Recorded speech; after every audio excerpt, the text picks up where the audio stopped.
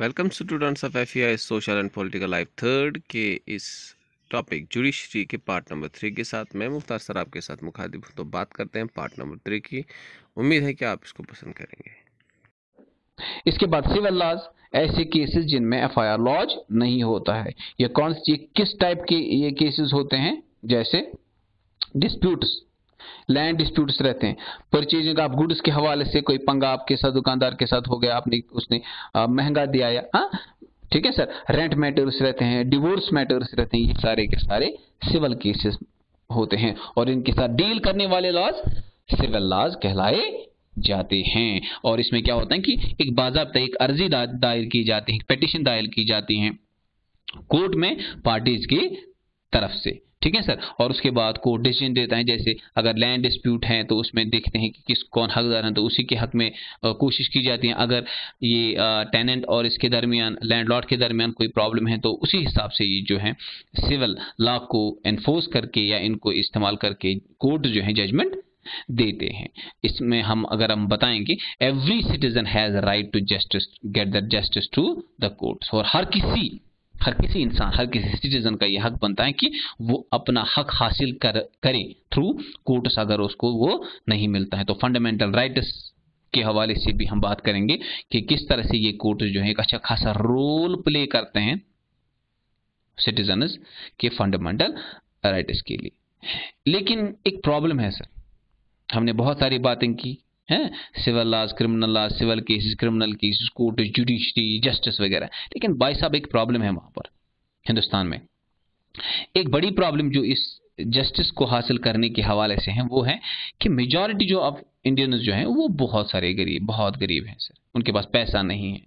और legal procedure जो होता है किसमें जुडिशरी सिस्टम है लीगल प्रोसीजर है, इसमें बहुत सारा पैसा लगता है और बहुत सारा टाइम भी कंज्यूम करता है। It takes lots of time and it also is the reason for wastage of too much of money ये बहुत सारा पैसे ज़ाया कर देता है। और गरीब इंसान गरीब हिंदुस्तान में फाइनेंशियली बहुत वीक होते हैं और इलिटरेट भी बहुत ज़्यादा बहुत ज़्यादा रहते हैं। और नंबर ये कि वो जस्टिस हासिल करना उनके लिए कोर्ट के ज़रिए से मुश्किल ही नहीं, नामुमकिन बन जाता है। तो इस हवाले से एक मैकेनिज्म बनाया गया 1980s में सुप्रीम कोर्ट ने डिसाइड कर लिया, यार, हम तो बनाएँगे एक ऐसा सिस्टम जिससे गरीब लोगों को जो है जस्टिस हासिल करना आसान हो जाएगा। वो क्या था? पीआईएल जिसको पीआई बोलते हैं, ये हो गया पब्लिक इंटरेस्ट लिटिगेशन आई है पीएल जिसको बोलते हैं। इससे क्या हो गया? To access increase it increase the access to justice for the poor and illiterate गरीब। कमज़ोर, पिछड़े हुए लोगों को इस मैकेनिज्म के ज़रिए से, इस PIL के ज़रिए से पब्लिक इंटरेस्ट लिटिगेशन सिस्टम के ज़रिए से जस्टिस करना आसान हो गया है। और ये एक लॉ सूट है इट ब्रिंग्स इट ब्रिंग्स और कंटेस्टिंग ए लॉ सूट ठीक है?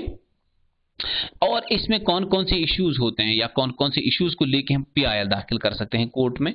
पोल्यूशन को लेके टेररिज्म को लेके रोड सेफ्टी कंस्ट्रक्शन हैजर्ड ये छोटे छोटे और सोसाइटी में ऐसे बहुत सारे इश्यूज़ रहते हैं जिनके लिए हम या जिनके जिनके लिए हम जो है पीआईएल दाखिल कर सकते हैं। ठीक है, सर?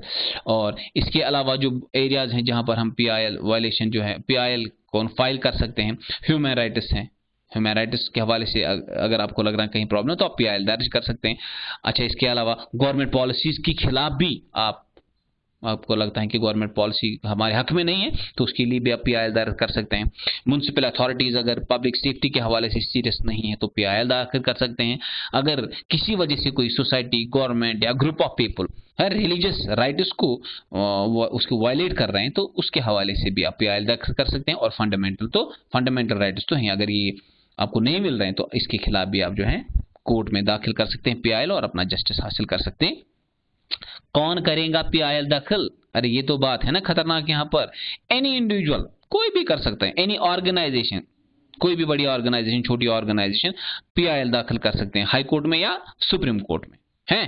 किस किसके बिहाफ में? On behalf of those whose rights are being violated मतलब तो ये है कि अगर वो बंदे, वो लोग जो गरीब हैं, कमज़ोर हैं हैं, अगर वो ताकत नहीं रखते हैं, उनको ये पता नहीं है कि किस तरह से जस्ट हासिल किया जा सकता है।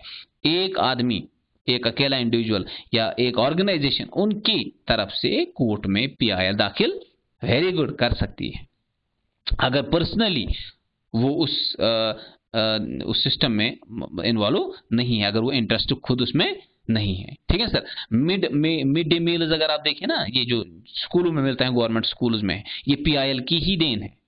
हैं? इसके मुतलिक आप बहुत सारी और भी डिटेल इन्फॉर्मेशन जो है गेन कर सकते हैं। तो फ़िलहाल मिड डे मील जो मिल रहा है स्कूलों में, ये इसी पीआईएल की ही एक देन हमें मिलती है। इसके अलावा कॉमन जो for the common person access to court is access to justice अरे यार, ये बहुत इंपॉर्टेंट चीज़ है। एक कॉमन मैन कोर्ट के पास जाए, उसके लिए आसानी हो जाए, ये तो जस्टिस उसको मिलना, मिलने की एक आसान राह बन जाती है सर फंडामेंटल राइट्स या बाकी सारी चीज़ें। हाँ there are there are court judgments court judgment that work against the best interest of the common man ये उसके अगेंस्ट में काम करते हैं, अगर हम देखें, लेकिन हम देखें तो कुल मिलाकर हम बात ये कर सकते हैं कि जो कोर्ट्स रहते हैं जुडिशरी सिस्टम जो रहता है, ये हर एक चीज़ सामने रख के, हर एक चीज़ सामने रख के हर एक चीज़ सामने रख के जो बेस्ट डिसीज़न होता है, वो देने की कोशिश करता है। भले वो किसी के अगेंस्ट में ही क्यों न जाए, लेकिन सच्चाई, जो सच्चाई होती है अल्लाह के हिसाब से वही वहाँ पर एनफोर्स करने की कोशिश की जाती है। लेकिन एक्सेस टू कोर्ट्स जो है, ये बड़ा लंबा चौड़ा किस्सा होता है। मैंने पहले ही कहा से, इसमें नॉर्मली जो है, बहुत टाइम लगता है कोर्ट्स के डिसीज़न में। बहुत सारा समय लगता है, बहुत सारे टाइम लगता है, और इसमें पैसा भी इन्वॉल्व हो जाता है। तो इस हवाले से एक टर्म यहाँ पर मैं आपको बताता हूँ। Justice justice delayed is justice denied अगर जस्टिस डिले हो जाता है, सालों लगते हैं जस्टिस देने में तो ये तो वही बात होगी कि जस्टिस आपको जैसे मिला ही नहीं। There are numerous cases in the history of Indian judicial system क्यों मरने के बाद लोगों को जस्टिस मिला। अरे यार, ये तो बड़ी नाइंसाफी है।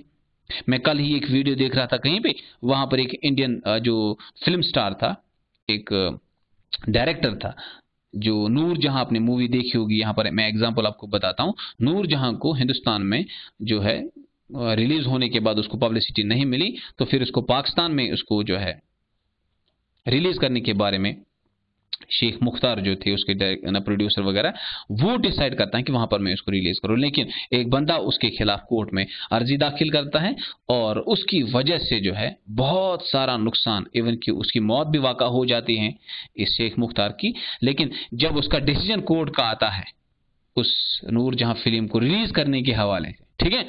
तब तक शेख मुख्तार इस दुनिया से चले गए थे। और जब उसको, उसके हक में आया कि आप रिलीज़ कर सकते हैं this you can you release this movie और जब वो रिलीज़ हुई, और नूर जहाँ मूवी जो थी, वो बहुत सुपर डुपर हिट हुई, और बहुत ज़्यादा पैसा कमाया, लेकिन ये जस्टिस तो मिला, लेकिन शेख मुख्तार के मरने के बाद। लेकिन ये वही बात होगी ना justice delayed is justice denied तो एक एग्ज़ाम्पल मैं छोटी सी यहाँ यहाँ पर दे रहा हूँ सर इसके बाद कंक्लूजन में अगर हम देखें judiciary has played a very crucial role in the democratic country किसी भी डेमोक्रेटिक कंट्री में जुडिशरी बहुत ज़्यादा इंपॉर्टेंट रोल प्ले करती है। ये सबसे ज़्यादा जो रोल प्ले करते हैं checking the power of executive and legislatures उनके पावर को चेक करना सुपरवाइज करना, या उनको किसी भी सूरत में अपने पावर्स का गलत इस्तेमाल करने ना देना, इसका कंक्लूजन बन जाता है, इसका मेन रोल बनता है। As well as in protecting the fundamental rights of citizen क्योंकि ये फंडामेंटल राइट्स बुनियादी हकूक जो है सिटीजन के, ये बहुत इंपॉर्टेंट है। किसी भी कंट्री में एक सिटीजन तब तक अच्छी तरह से एक बेहतरीन ज़िंदगी तब तक सर, बसर ही नहीं कर सकता है, जब तक उसको क्या बोलते हैं फंडामेंटल राइट्स जो है वो ना मिले। तो इस फंडामेंटल राइट्स को प्रोटेक्ट करने के लिए ही जुडिशरी जो है बनाई गई है। उम्मीद है आपको ये छोटी और मोटी बातें इस टॉपिक जुडिशरी के हवाले से समझ आई होंगी। अगले वीडियो तक के लिए इजाज़त दीजिए, सलामत रहिए, खुश रहे अल्लाह हाफिज़।